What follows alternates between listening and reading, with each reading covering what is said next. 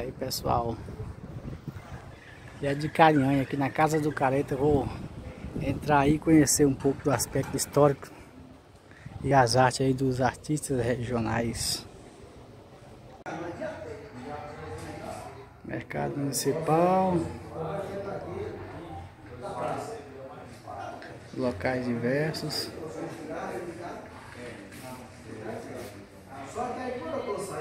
Essa boa, meu.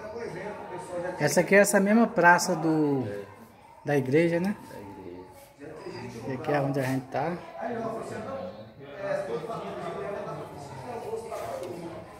Que é essa avenida aqui, Santo Antônio aqui, a subida aqui. Entendi. E ela é mais recente aqui. E é a prefeitura que administra, né? Bandas. Aqui é as bandas antigas da região. A igreja São José aqui, ó. No caso, essa igreja daqui antes de reformar. Entendi. 34. Tá certo. Bem antiga essa bem.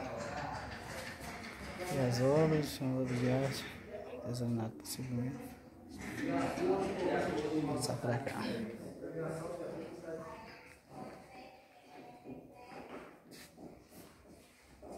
Dá pra ver que são imagens bastante de época mesmo. Bem antiga.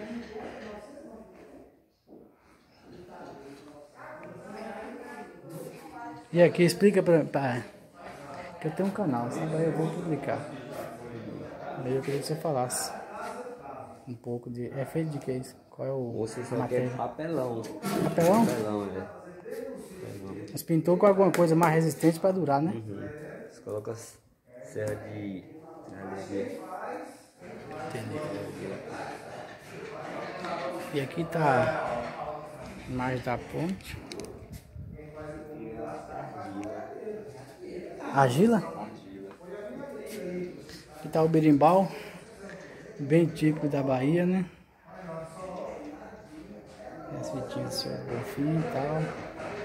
Muito legal. Bacana.